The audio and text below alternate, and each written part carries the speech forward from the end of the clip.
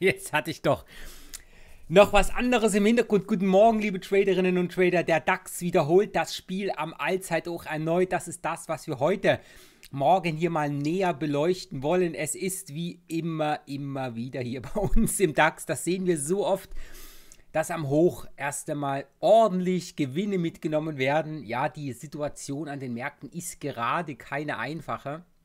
Ich bin gespannt, äh, wie es da weitergeht. Der Chart verrät so ein bisschen was, wie die Unterseite aussehen könnte. Äh, die US-Märkte sind hier nicht wesentlich besser unterwegs. Ähm, allerdings starten wir hier nach unten nicht von Allzeithochs. Es ist tricky. Aber nichtsdestotrotz ein Thema, dem wir uns heute annehmen werden, weil die aktiven Traderinnen und Trader unter den Zuschauern hier natürlich davon profitieren können, wenn sich was bewegt. Und da schauen wir drauf. Das im DAX. Dann haben wir eine Frage bekommen zu einer intensiveren Analyse im Schweizer Franken, japanischen Yen.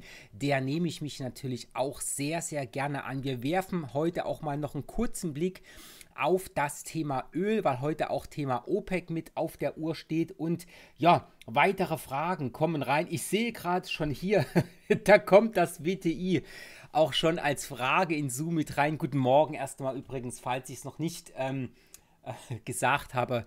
Hier freue ich mich über die Rückmeldung in Zoom und auch auf äh, ja, Facebook. Ich bin gespannt. Äh, ich bin gerade am, äh, sage ich mal, weiteren Ausbau meines Streaming-Studios. Ich denke mal, irgendwann im April rum äh, werde ich dort dann in der Lage sein, äh, da aus live zu gehen. Äh, mal gucken, was sich da ergibt, das Streaming noch ein bisschen auszuweiten auf andere Kanäle, dass man es live bringen kann. Vielleicht auch direkt rein in YouTube-Kanäle. Mal schauen, was da so wird. Das Interesse ist auf alle Fälle da. Da freue ich mich auch. Und deswegen, ja, macht mir das auch so einen Spaß, morgens hier immer wieder über interessante Situationen zu sprechen. Wie schon gesagt, WTI äh, kommt. Hier wird die Frage gestellt, äh, Chance auf 25 65, das gucken wir uns im Chart an. Die Chance steht auf alle Fälle da, weil der Ölmarkt weiter äh, doch sehr gefragt ist. Das Ganze schauen wir uns in Ruhe an. Und dann haben wir hier äh, gerne noch US-Dollar, japanischen Yen. Und weil wir heute äh, Yen auch da haben im Schweizer Franken zusammen, gucken wir uns das Ganze natürlich auch mit an. Aber zunächst, wie immer, jeden Morgen, bevor wir hier in die Vollen gehen, darf eins nicht fehlen.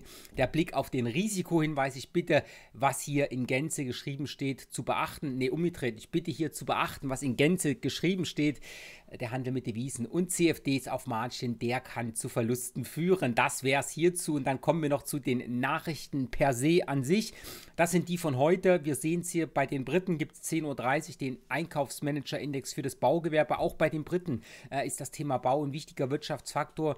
Das sollte sich auch weiter stabilisieren, wenn sich die Wirtschaft irgendwann stabilisiert. Der vorige Wert war 49,2. Die Analysten erwarten hier eine Steigerung auf 51 eine positive Überraschung wäre hier gut für die Märkte, beziehungsweise zunächst erstmal ein gutes Zeichen für die Wirtschaft an sich. Ob der Markt das jetzt schon spielt, das wird sich an dieser Stelle noch zeigen. Dann habe ich gesagt, Pressekonferenz der OPEC, deshalb heute mal kurz noch ein Blick in äh, den Ölmarkt hinein. Das Ganze von der Zeit allerdings noch offen. Wichtig, was man dort beachten möchte, ist natürlich, dass die OPEC hier an ihrer Stelle diverse Interessen auch vertritt. Wichtig ist halt, die wollen halt alle ihr Öl verkaufen, aber die wollen halt auch gewisse Preise haben.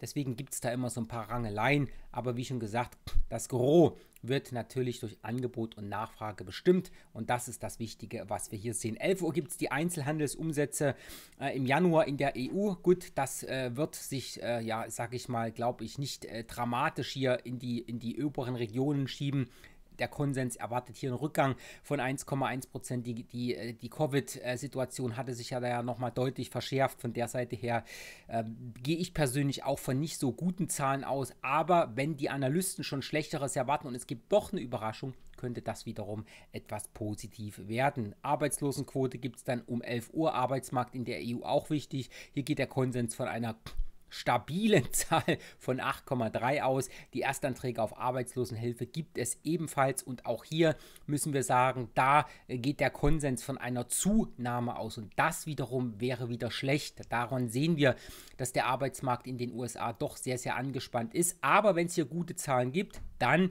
wäre das Ganze natürlich aus der Sicht heraus auch positiv zu sehen. Mal kurz schauen, was wir gestern bekommen haben. Ähm, mal schauen.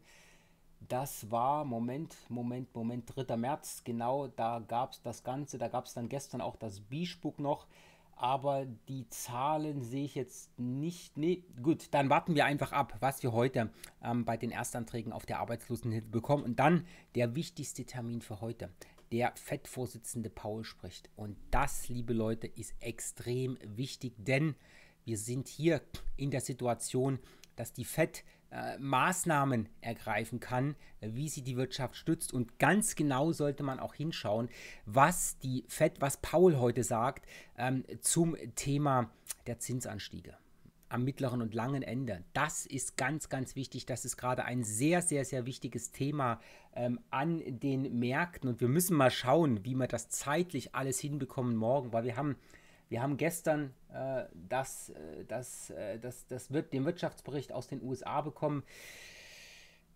Dann haben wir das Thema Zinsen auf der Uhr, äh, wo ich gerne auch noch ein paar Worte zu sagen würde, weil da haben wir schon ein paar Fragen ähm, oder habe ich schon ein paar Fragen bekommen ähm, zum Thema Rendite, Zinsen, wo ist der Unterschied, wie wird was bewegt. Das ist halt ein wichtiger Fakt. Ähm, und da würde ich gerne nochmal drauf eingehen. Ich muss mal schauen, wie ich es morgen mache. Auf alle Fälle wird es morgen wieder im, im Pickepacke Vollteil hinten dran an die Chartbesprechung einiges geben. Ähm, wir müssen halt die Zeit ein bisschen anhalten. Äh, und wie schon gesagt, das Thema Arbeitsmarkt ist halt auch äh, was, was relativ Wichtiges. Angespannt. Ich habe mich noch nicht entschieden wird eine Überraschung. Es gibt aber morgen auf alle Fälle einiges und wir machen weiter an dieser Stelle ähm, hier an diesem Punkt mit den Blick in die Charts. Und da haue ich hier gleich mal einen raus. den DAX.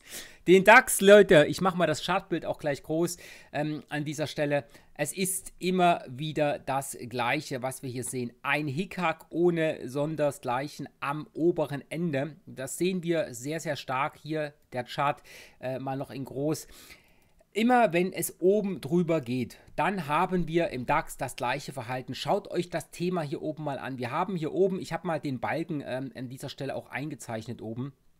Ähm, die Allzeithochs, die sich hier abwechseln und da kommt nicht wirklich Druck rein. Ne? Das hier, was wir hier hinten in der Historie hatten, wann war denn das gewesen? Im Dezember. Das an dieser Stelle, da ging es hoch, kurz nochmal aufs Ausbruchsniveau und dann deutlich nach oben. Und danach, danach hatten wir einen Wechsel der Regime äh, hier an dieser Stelle. Da ging es sozusagen nach dem Hoch hier oben erstmal deutlich in den Keller. Auffangbereich hier unten 13.260 Zähler. Und dann zack, rrrt, in einer Rallye Gleichen nach oben. Aber da kamen keine Anschlusskäufe mehr. Ne? Kleiner Spike hier von 34 äh, auf 89 und dann wieder erstmal Abverkauf. Nochmal Test von diesem Widerstandslevel, dann weiterer Abverkauf. Zwischentief im Auffanglevel bei 13.650. So, und nun hier oben. Gestern neues Allzeithoch, aber pff, neun Punkte mehr an dieser Stelle. Das ist lächerlich, das ist quasi nichts. Das ist etwas für die Historiker, die sich sagen, yes, wir haben mal wieder ein neues Allzeithoch im DAX, aber Leute, echt jetzt, das ist doch nichts, was einem hinter dem Ofen hervorlockt. Warum? Dann kam direkt wieder der Abverkauf. Und jetzt sehen wir schon, der Markt ist doch deutlich am Hin und Her schwanken hier in dieser Stelle. Und wir schauen uns das Ganze mal kurz im Kleinen an. Nur vorab der Blick mal eben noch auf die, äh, auf die Kurse hier in Asien über die Nacht deutlicher Abgabedruck, was dort unten gekommen ist. Also das sieht überhaupt nicht gut aus. Ähm, in Australien ebenfalls der Markt eher erstmal ein bisschen wieder nach unten. Jetzt kommt er aber so ein kleines Stückchen hoch. Also es ist so ein bisschen ein gemischtes Bild momentan. Und da ist jetzt halt die Frage, wie reagiert der DAX auf diese Geschichte? Wir haben heute Morgen beispielsweise die Zahlen von der Lufthansa bekommen ähm, und die sind vorbörslich jetzt um minus 4% im Minus. Und das belastet natürlich auch den DAX. Also man muss mal sehen, wie der Markt von unten rauskommt. Ich möchte hier an dieser Stelle allerdings nicht äh, die Flinte ins Korn werfen und sagen, wir werden jetzt erstmal eine ordentliche Abwärtsrallye sehen.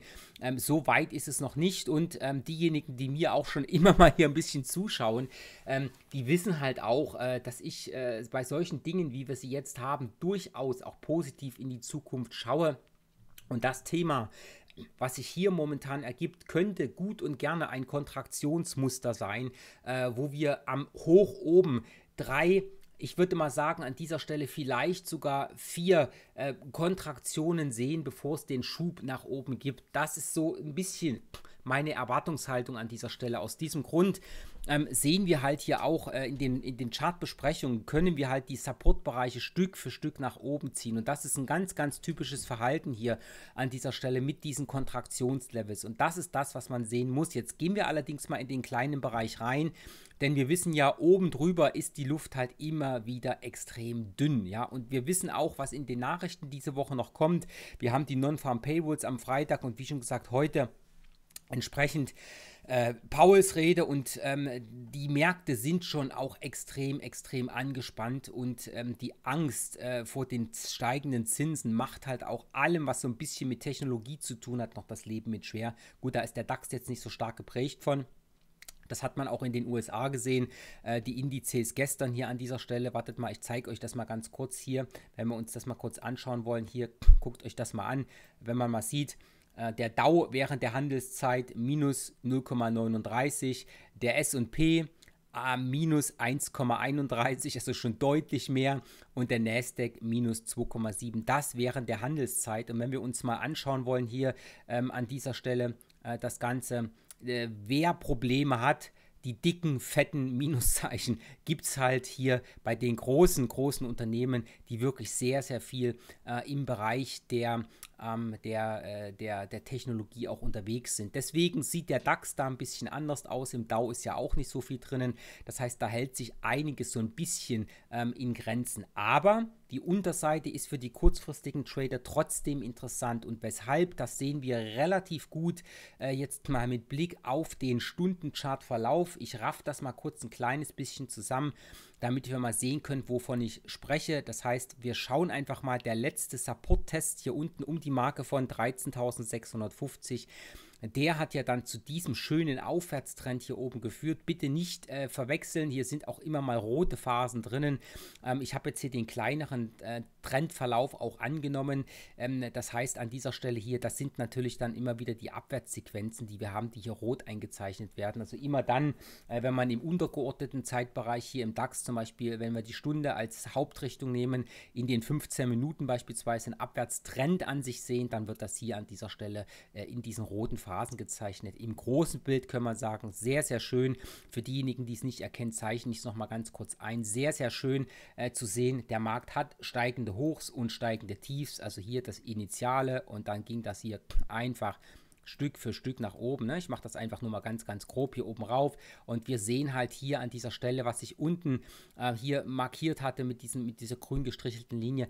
Das war der Bereich des letzten Zwischentiefs und der ist halt komplett rausgenommen worden, ganz klar. Und was wir hier an dieser Stelle jetzt auch sehen ist, dass wir hier definitiv einen Abwärtstrend nach unten laufen haben. Und dieser Abwärtstrend ist halt intakt und wenn es zur Fortsetzung dieses Abwärtstrends kommt, dann müssen wir einfach schauen, hier das kleine Zwischentief hier unten um die Marke von 13.924 ist ja schon mal rausgenommen worden. Und wenn wir jetzt hier nicht über dieses Level drüber laufen, hier oben, ich ziehe mal ganz kurz die Linie oben rauf, hier an dieser Stelle, um die 14.020 Punkte, das wäre mal wichtig, dass, dass der Markt wirklich da drüber geht und sich auch da drüber stabilisiert und nicht nur ein bisschen oben drüber lupft. Das ist der wichtige Faktor hier, der Schwungbereich. Ja, man kann auch die 25 nehmen hier oben. Also das ist jetzt kein Abbruch, das ist der Bereich da oben. Ähm, aber das ist halt das Wichtige. Und äh, diese Abwärtssequenz, die schauen wir uns gleich auch nochmal an, ähm, was hier zu machen ist. Und wir sehen es halt auch hier oben, diese 14.020 bis 25 ist ein Wieder Widerstandsbereich.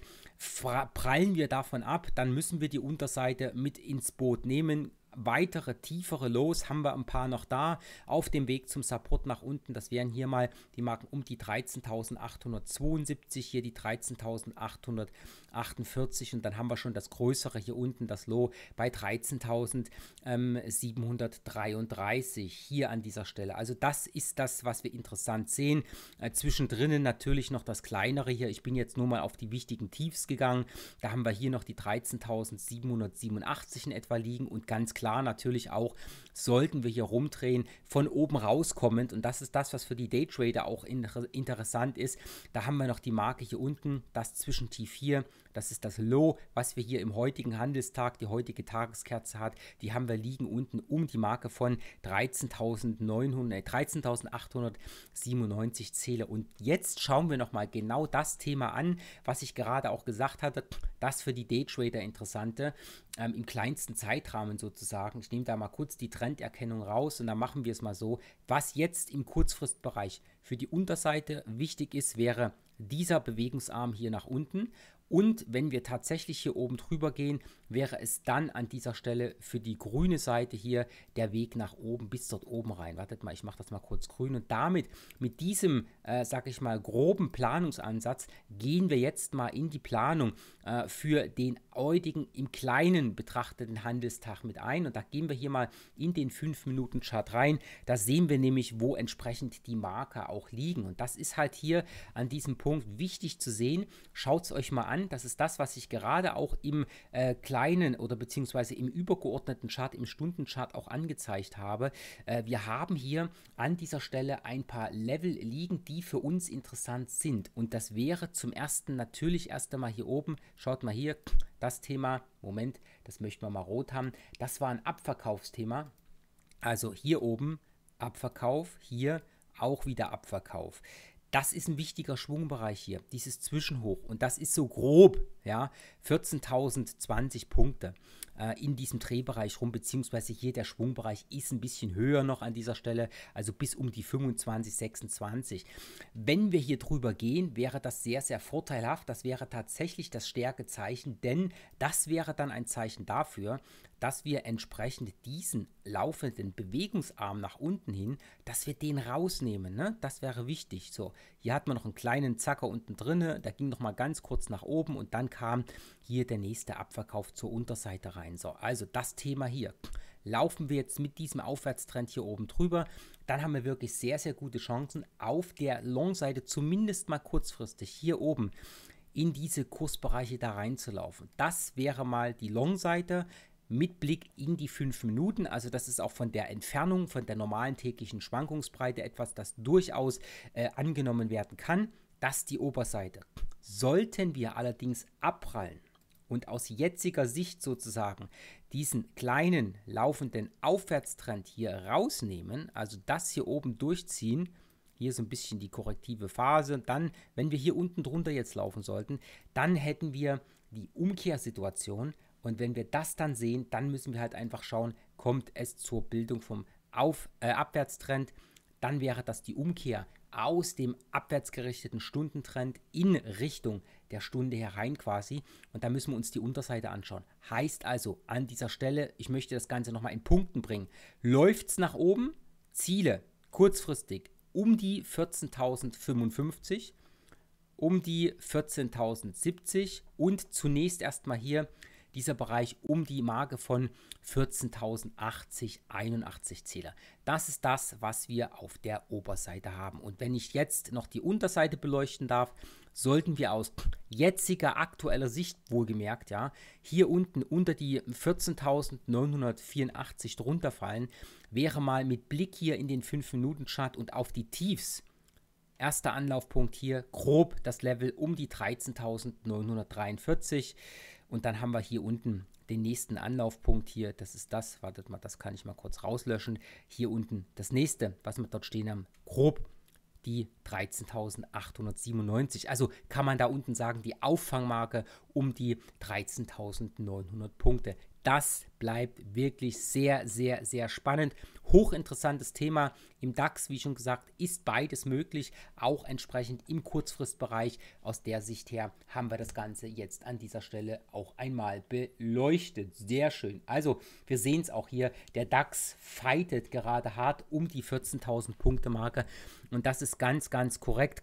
Die Frage ist halt einfach nur, ähm, wie geht das Ganze aus und was bewegt den Markt entsprechend und was der Markt momentan so ein bisschen oder was den Markt tatsächlich so ein bisschen umtreibt, ist echt das Thema auch der Inflation und bei der Inflation, das ist halt immer so ein Punkt, ähm, wie geht denn die Inflation entsprechend weiter? Was ist denn überhaupt äh, der Grund der momentanen Preisanstiege? Und äh, da muss man einfach sagen, ähm, dass wir jetzt schon eine Situation haben, die für Preisanstiege nicht unbedingt der Standard ist, ja, weil normalerweise, wenn wir Standard äh, Preisanstiege haben, dann kommen die in aller Regel durch durch eine deutlich gesteigerte Nachfrage. Wir haben bei uns in Deutschland oder beziehungsweise, na doch, ich gehe jetzt mal kurz auf Deutschland ein, äh, zum Thema auch Inflation, aber noch ein paar Sonderfaktoren. Wie überall auf unserer Welt natürlich die Nachholeffekte, äh, wenn die Läden und alles Mögliche dann irgendwann mal wieder öffnet, äh, Kultur öffnet und, und, und, da haben wir natürlich eine deutlich höhere Nachfrage,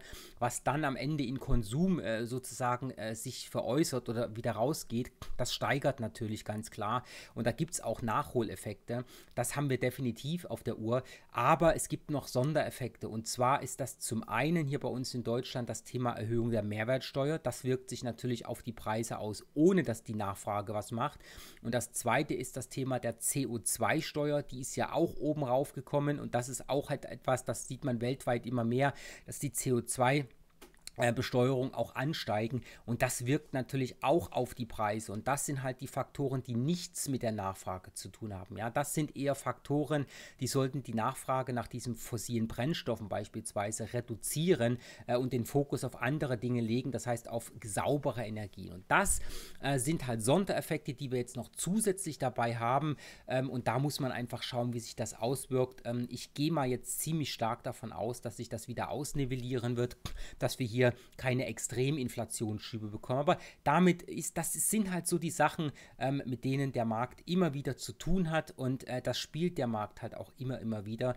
Äh, und das Problem ist halt, wenn die Zinsen zu stark ansteigen sollten und das auch zu lange so bleibt, dann kann die Wirtschaft natürlich ein Problem haben und dann kommen natürlich auch irgendwann die Überlegungen, äh, wenn wir dann irgendwann mal in Regionen von 3, 3,5 Prozent auf dem längeren Ende gehen, dass man dann sagt, okay, äh, jetzt wird es halt doch auch mal interessanter, die risikolose Seite in Richtung Staatsanleihen zu beleuchten. Wenn man da nämlich 3,5 Prozent erwirtschaften kann ohne Risiko, ohne das Kursverlustrisiko, das man am Aktienmarkt hat, dann fließt doch deutlich Geld in diese Anleihen und das wird dann deutlich, deutlich, deutlich Druck auf den Aktienmarkt auch bringen. Noch sind wir da nicht so weit, aber ich sage an dieser Stelle immer, bitte sowas mit auf der Uhr haben. Das habe ich immer mit auf der Uhr. Deswegen hier immer wieder morgens in die Sendung reinschauen. Das macht auf alle Fälle Sinn. Und beim Thema Sendung reinschauen machen wir jetzt hier weiter mit den Währungen. Äh, und da hatte ich ja gerade auch gesagt oder vorhin gesagt, ähm, dass wir hier an dieser Stelle den äh, Blick mal auf das Währungspaar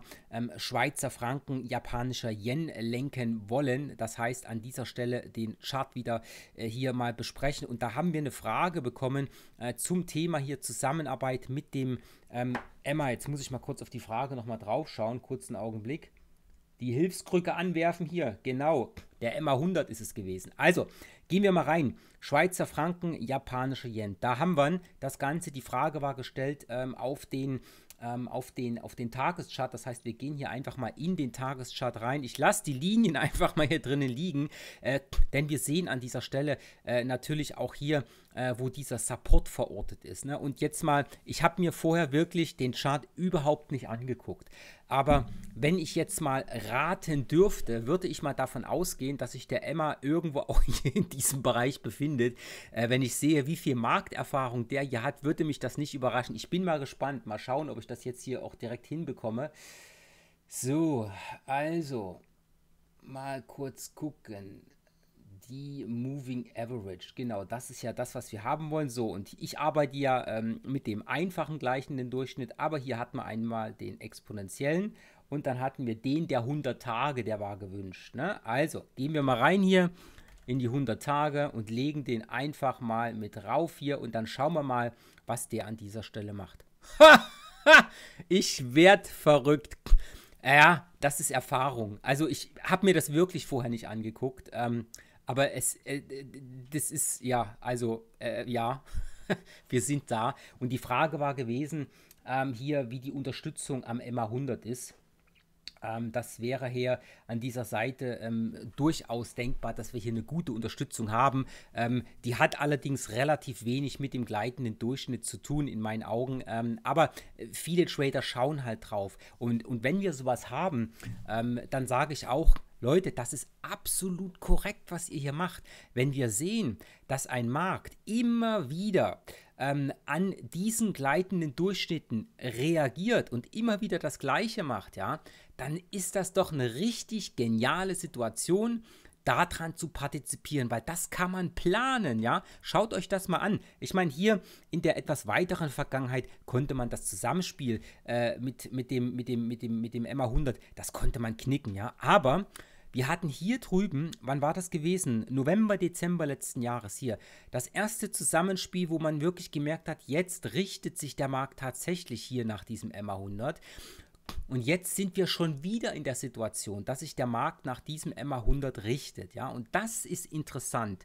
Das heißt also an dieser Stelle, wenn wir hier wirklich, und ich sage mit Absicht wirklich, das Spiel wie hier unten sehen, haben wir hier natürlich auch noch ein paar Komponenten, die zusätzlich mit reinkommen. Denn Schaut es euch an, das Level hier um die 116,25 ist schon ein gutes Support-Level. Ne? Das hier war hier drüben Widerstand und hier gestützt, gestützt, gestützt, gestützt. Wenn es hier wieder stützt, haben wir gute Chancen. Das sehen wir gut auch in den 4-Stunden-Charts. Ne? Hier sehen wir es einfach, der Markt läuft jetzt zwar ziemlich heftig runter, aber wir sehen immer wieder den Aufprall und den Abprall.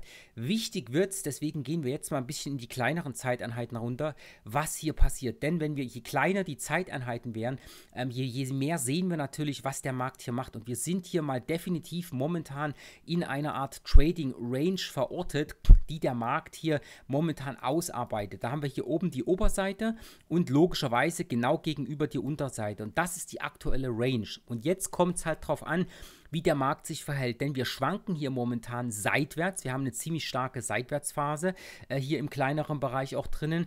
Und da wäre es jetzt natürlich interessant zu sehen. Das Thema mit dem Zusammenspiel vom MA100 auf Tagesbasis, das macht es natürlich jetzt äh, von der Seite her, ähm, ähm, sag ich mal, etwas naja, sag ich mal, man muss schon sehr, sehr ähm, geduldig sein an dieser Stelle. Warum?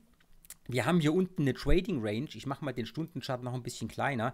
Äh, und diese Trading Range auf tiefem Niveau, äh, die ist halt auch in der Abwärtsphase mit, mit betrachtet. Und das nächste, was an dieser Stelle kommt, ist, was man da immer so ein bisschen mit im Hinterkopf haben muss, ja, ist die Tatsache, ähm, wenn wir uns mal die kurz die Währungsfutures anschauen wollen, äh, da sehen wir halt, der Yen ist schwach, der Schweizer Franken ist schwach. Das heißt, wir haben hier zwei schwache Währungen. Ähm, und wenn wir uns das mal anschauen, ähm, naja, ich möchte jetzt mal nicht äh, sagen, dass einer der zwei Schwachen deutlich stärker ist äh, oder deutlich weniger schwach als der andere. Ähm, das heißt, das ist so ein bisschen dieses tricky äh, Picture hier an dieser Stelle und das ist halt auch der Punkt der Seitwärtsphase hier unten. Äh, und das ist halt etwas, da muss man einfach sehen, sollte jetzt der Schweizer Franken äh, natürlich, äh, äh, sage ich mal, etwas Stärke gewinnen, mehr als der japanische Yen äh, äh, an, an, Erholung zulegt, dann, äh, dann, dann sehen wir plötzlich den Markt wieder nach oben streben. Ähm, wird aber der Schweizer Franken plötzlich wieder etwas mehr Schwäche zeigen als der Yen, ähm, dann drückt es das Bild natürlich nach unten. Und das ist so ein bisschen die ganze Situation, das ist, das ist wirklich ähm, ähm, nicht so leicht zu machen. Aber wenn wir so ein bisschen mal auf die Charttechnik hören, und die Frage war ja auf den Tageschart bezogen und nicht auf den 5-Minuten-Chart, ähm, dann muss ich an dieser Stelle wirklich sagen, das Thema äh, um die 50er ist schon, äh, schon äh, um, den, um den MA100 ist schon ein, ein Thema, was da ist. Äh, der Markt sieht momentan noch nicht so aus, als wenn er es spielt. Ähm, denn wir haben hier beim, beim letzten Mal drunter, da sind wir drunter gelaufen und sofort wieder hochgelaufen. So, was ist hier passiert? Hier sind wir drunter gelaufen, kurz hoch, sofort wieder drunter. Ähm, wir kommen momentan dort nach oben nicht in die Pushen. Das heißt, das Spiel, was wir hier haben, ist schon ein bisschen anderes wie hier. Also momentan sieht mir das hier eher so aus, ähm, als wenn der Markt wirklich eher den Ausbruch nach unten probt und wir das ganze Spiel dann nach unten äh, mit, mit, mit drehen sollen. Und es gibt auch noch hier an dieser Stelle einen, eine, eine ganz kleine Nuance vom Unterschied her. Wenn wir das hier an dieser Stelle mal sehen, haben wir gesehen, ähm, dass der, dass der, dass der, dass der äh, Emma 100, aber das sind wirklich nur Nuancen, ja, dass der Emma hier angestiegen ist und nach oben weitergelaufen ist. Hier sehen wir jetzt äh, schon, äh, ich will jetzt hier nicht zu viel reindeuten, aber eher so ein bisschen das Thema nach unten laufen. Das sind ganz feine Nuancen. Und das sind halt die feinen Unterschiede, die man dann hier auch in den kleineren Zeiteinheiten sehen kann. Was macht der Markt? Und da ist es jetzt halt wirklich so, er sieht eher schwach aus. Der kleine Bereich läuft auch eher nach unten. Und wir haben halt hier gerade auf der jetzigen Sicht das ist übrigens für die kurzfristigen Trader wichtig hier. Wir haben hier diesen korrektiven Trendkanal. Der wird jetzt nach unten gebrochen. Und wenn wir hier mal die kleinere Zeiteinheit mit reinnehmen, schaut mal hier, das ist der Ausbruch. Und wenn wir jetzt hier noch eine Korrektur und einen weiteren Schub nach unten bekommen, wäre das eher ein Indiz dafür, dass der Markt zur Unterseite möchte. Das heißt, wir haben die Trading Range. Brecht man nach unten, ist das Thema Zusammenarbeit äh, mit, äh, mit, der, mit der MA100E erstmal erledigt. Prallen wir allerdings davon ab, jetzt hier von diesem Support-Bereich um die 116,25, dann haben wir Chance zunächst erstmal wenigstens bis oben an die Oberseite der Range oder wenigstens ins Median reinzulaufen. Ja? Der Ausbruch zur Oberseite hin, da müssen wir tatsächlich oben drüber, das heißt hier tatsächlich über das Swing High da oben drüber. Und das wäre die obere Begleite oder die Oberseite der Range. Und wenn wir da mal schauen wollen, was wir als Anlaufpunkte auf der Oberseite haben, ich färbe jetzt mal die Linien da oben nicht äh, extra noch in Rot ein, diejenigen, die das Video schauen, äh, sind glaube ich auch in der Lage zu verstehen, dass das die Anlaufpunkte auf der Oberseite sind, ähm, da haben wir mal hier an den Zwischenhochs ein paar Marker zu sehen, äh, die wir da dann da haben. Und das ist halt hier an dieser Stelle mal ganz klar die Zwischenhochs, beziehungsweise hier der Drehbereich, als wir hier auf der Oberseite in die Unterseite reingelaufen sind. Das wäre mal hier, wenn die Range zur Oberseite wirklich rauskommt, das nächste Anlauflevel die 117,07, dann das Zwischenhoch hier bei 117 knapp 45 und dann haben wir hier schon das Hoch um die 117, 76, 77. Das ist das, was wir da oben haben, aber das Bild mit der Zusammenarbeit äh, der MA 100 ich bin hier momentan noch nicht so wirklich bullish, aber wir haben halt hier den großen Support. Der ist da und der könnte durchaus dafür sorgen, dass wir hier wieder ein Stück weit nach oben laufen. Chancen haben wir auf alle Fälle. Ich würde es nur nicht auf die MA 100 entsprechend hier ähm, reduzieren. Das wäre mir ein bisschen zu wenig. Alles klar. Das dazu und dann haben wir noch eine Frage zum US-Dollar, japanischen Yen und den schauen wir uns natürlich auch an. Und hier, hier ist natürlich etwas, das ich als Trader auch liebe, eine starke und eine schwache Währung. Naja, der ein oder andere wird jetzt lachen, wenn der Seidel hier erzählt, der Dollar ist eine starke Währung. Ähm, aber vergleicht einfach mal den Chart vom Yen wie er hier runterläuft. Ich hoffe, man kann das im Video gut sehen. Ne? klassischer Abwärtstrend äh, und hier den Dollar, das sieht schon ein bisschen anders aus und der sieht schon ein bisschen stärker aus auf dieser Seite her. Also Dollar ist stärker als der Yen. Der Yen schwächelt hier, äh, der Dollar gut. Heute ist er auch nicht wirklich stark in den Tag, aber äh, die Tendenz sieht schon ein bisschen anders aus und aus dieser Seite kann man schon ganz klar sagen, wenn man diese beiden Währungen miteinander betreibt, ist der US-Dollar schon der stärkere von beiden und wenn der wieder schwerer wird oder der Yen schwächer wird oder beides zusammen einsetzt, dann trägt äh, es den Chart schon äh, deutlich nach oben. Und das schauen wir uns jetzt an dieser Stelle einfach mal an hier, den Japanese Yen. Und das sehen wir hier auch, wie stark der Markt hier heute auch wieder nach oben performt.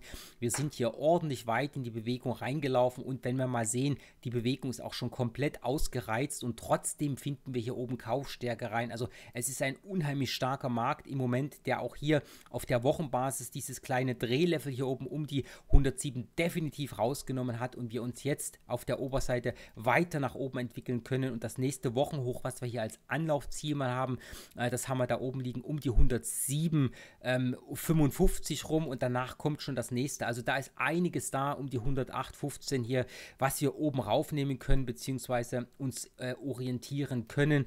Und da haben wir auch schön die Abwärtssequenzen hier mit den Zwischenhochs. Also es schaut schon ganz gut aus. Und wenn wir uns das mal kurz hier an dieser Stelle auch im Bewegungstrend anschauen wollen, und da bin ich jetzt mal in die vier Stunden gegangen, weil da sehen wir den letzten Arm hier unten vom kleinen äh, Tief hier unten, was wir gehabt haben, um die 104, 92 rum. Da hat es jetzt das Ganze schön nach oben geschoben und das raffe ich mal kurz zusammen, dass wir ein bisschen mehr sehen können. Und da sehen wir es. Der Markt ist sehr, sehr, sehr, sehr stark hier an dieser Stelle rein. Und wenn wir hier mal den Trend uns auch anschauen lassen wollen, wartet mal, ich mache mal kurz an hier. Wir sehen es, der ist absolut intakt, eine feine Geschichte. Ähm, und für diejenigen, die sich sagen, na, wie kann es denn hier jetzt weitergehen? Mal ganz klar, wir machen einfach mal ganz kurz folgendes. Das hier ist quasi der Aufwärtstrendkanal, den wir jetzt hier nach oben begleitet haben. Und wenn wir einfach mal schauen, äh, die Korrektur, die wir hier unten gehabt haben, die spiegel ich mal eben ganz kurz oben drauf. Das ist nur ganz, ganz grob. Da gehen wir halt auch in diesem weiten Bereich halt entsprechend momentan rein. Und für diejenigen, die sich sagen, Mensch, ich möchte hier aus der Korrektur heraus traden, weil der Markt auch gerade wirklich so schön stark nach oben läuft, äh, das ist überhaupt kein Problem, ja. Dafür gibt es ja die kleineren Zeiteinheiten äh, und der Trendkanal ist ja auch ganz klar ersichtlich hier an dieser Stelle. Und das schauen wir uns jetzt einfach mal im 15-Minuten-Chart an. Und da sehen wir es nämlich. Hier ist schön der Verlauf in diesem Trendkanal mit drinnen. Da ist die Unterseite jetzt sehr, sehr interessant. Und wenn das Ganze nach unten verlassen wird, also hier Beispielsweise mit Blick auf die 15 Minuten. Wenn wir hier sehen, der Markt läuft nach unten drunter, läuft jetzt aktuell hier quasi auch dann unter das Level, hier grob über der 107 drunter durch, dann wäre das der Start der Korrektur und das wäre dann genau das, was wir hier sehen, dann den Weg nach unten zu traden und ein bisschen die Unterseite mitzunehmen und gute Auffanglevel, also wo der Markt durchaus ran kann, hier wären mal hier der Ausbruchsbereich, wenn die Korrektur kommt, hier unten das Level um die 106, 95, 96, das wäre mal eine gute Marke, äh, wo man eine Umkehr erwarten könnte, beziehungsweise dann hier an diesem kleinen Zwischentief bei 106,84. Und das ist auch das, was wir schön hier an dieser Stelle im 15-Minuten-Chart sehen. Das sind so die Schwungbereiche hier, die wir haben aus diesen Tiefs heraus. Ne? Und das kann man doch durchaus sehr, sehr schön zum Traden mit nutzen. Da gibt es natürlich auch noch ein paar unten drunter hier drüben dieses kleine Level um die 106,78 und dann hier das Zwischentief da unten um die Marke von 106, knapp 65, 66 rum. Das ist die Korrektur, aber der Markt ist megamäßig stark und wenn wir hier eine Chance bekommen können, reinzugehen und die Stärke bleibt echt da, das sind dann die guten Chancen an diesen Punkten. Also, das zum äh, US-Dollar, japanischen Yen. Dann hatte ich versprochen, flott mal noch der Blick in, äh, den, äh, in, in das Öl. Und wir hatten ja Öl vor kurzem auch äh, hier gefragt, und zwar vor zwei Tagen. Da standen wir hier an dieser schwarzen Kerze äh, und da war ja das Thema, ist die Korrektur jetzt schon zu Ende? Und da hatte ich ja gesagt, gut, wir sind ja in eine tiefe Korrektur reingelaufen, aber aus charttechnischer Sicht sehe ich das nicht so. Ähm, und da haben wir uns den Stundentrend, glaube ich, mal angeschaut und schaut mal, das ist das, worauf ich immer warte. Hier ist der Trend zur Unterseite gewesen, ja, und dann wurde dieser Trend rausgenommen. Und da sehen wir die Umkehr der Nachfrage. Und das haben wir momentan. Und aus jetziger Sicht haben wir hier im Ölpreis ganz klar, läuft es hier oben drüber, setzt sich dieser kleine Aufwärtstrend hier fort, können wir uns schön zur Oberseite hin orientieren. Die nächsten Anlaufpunkte wären dann mal hier oben in diesem Drehbereich um die ähm, 62, äh, 70 rum in etwa. Ne? Das ist dieses Drehlevel hier. Da gab es auch den kleinen Spike noch oben drüber. Und dann können wir uns hier oben schon diesem Zwischenhoch um die Marke von 63,70 widmen. Und wenn wir das Ganze mal noch anschauen wollen, ähm, auf der Tagesbasis, dann haben wir hier oben schon die 65 drin. Das hatte ich ja mit beleuchtet. Also das ist wirklich sehr, sehr interessant. Ich bin mal gespannt, was bei der OPEC hier passiert. Ähm, der Brand sieht da ähnlich aus, ähm, noch ein kleines bisschen anders, ähm, aber die Potenziale sind auch da. Ich habe das Ganze definitiv auf dem Schirm und sollte es hier eine gute Situation geben ähm, für einen Trade, ist das Ganze definitiv auch ziemlich schnell mit auf der Uhr wieder. Möglicherweise schon morgen, wenn wir ein Handelssetup bekommen. Da müssen wir uns mal überraschen lassen. Aber das ist auf alle Fälle etwas, was wir hier mit auf der Uhr auch haben. Ähm, jetzt kriegt man hier noch eine Frage, die lese ich gleich mal vor. Hallo Mike, falls du morgen auf Anleihen und Zinsen eingehst, könntest du zeigen, wo man findet, wie viele und welche Anleihen die FED kauft. Uh. Oha, Manfred, ähm, also wir wissen ja, das Anleihekaufprogramm der FED, ähm, das ist ja das, äh, was gesagt wird, das ist ganz klassisch. Aber ähm, ich äh, weiß nicht, äh, ob die FED äh, preisgibt, welche Anleihen die direkt kauft. Habe ich noch nie gehört. Also da bin ich echt total überfragt. Ich schaue mal, äh, ob ich was finde, aber das will ich mal nicht äh, äh, an dieser Stelle, ähm, ja, sag ich mal, ähm, versprechen, dass ich da tatsächlich irgendwelche Aufstellung finde. Ähm, wenn da irgendwas kommt, dann sind das nicht selten Dinge, die deutlich in der Vergangenheit liegen und wir wissen nicht, was da jetzt gemacht wird. Aber die Zahlen vom Anleihekaufprogramm, äh, die sind natürlich auch bekannt, die wurden ja auch äh, äh, immer wieder veröffentlicht, das ist kein Geheimnis, ähm, aber es ist halt ein Thema, ähm, ähm, wo man einfach sagt, äh, was der kaufen, die, die FED kauft halt entsprechend, äh, um entweder, äh, sag ich mal, ähm, die, die, die Unternehmen auch zu stützen, dort alles liquide zu halten oder aber auch das Thema mit dem Kaufprogramm, ähm, dass man einfach sagt, man schichtet um von kurz auf lang, macht dadurch Druck auf die kurzen und ähm, versucht damit sozusagen äh, die, die, die, die Renditen ähm, in die Länge zu schieben, äh, dass der Druck äh, kurzfristig runterkommt. Ähm, aber wie schon gesagt, ich schaue mal, was ich finde, aber ich glaube, äh, da werde ich gar nicht fündig. Also ich habe noch nie was gesehen äh, in diese Richtung. Wenn hier einer der Zuschauer, der dabei ist, was äh, für uns hat, äh, sozusagen hier an dieser Stelle den, äh, den, die Info mir mitgeben kann, da würde ich sagen, danke, das würde mich freuen, da gibt die Community gut was zurück. Also wenn jemand da Informationen hat, äh, bitte auch auf mich zukommen, hier auf Facebook oder info at Investorschule einfach mal ähm, eine E-Mail schreiben und dann passt das Ganze. Und wie schon gesagt, wir schauen mal, ob wir morgen das Thema äh, Anleihen, äh, Zinsen und Renditen schon mit reinkriegen in die Sendung. Ich muss halt auch immer schauen, dass es nicht zu lang wird. Ähm, ansonsten äh, steht das Thema ähm, definitiv eine Woche später auf der Uhr, weil das Thema der Zinsen wird sich mit Sicherheit bis nächste Woche auch nicht erledigt haben. Äh, und das, was ich dort zu sagen habe, ist halt auch etwas, das braucht man wirklich für sehr, sehr lange.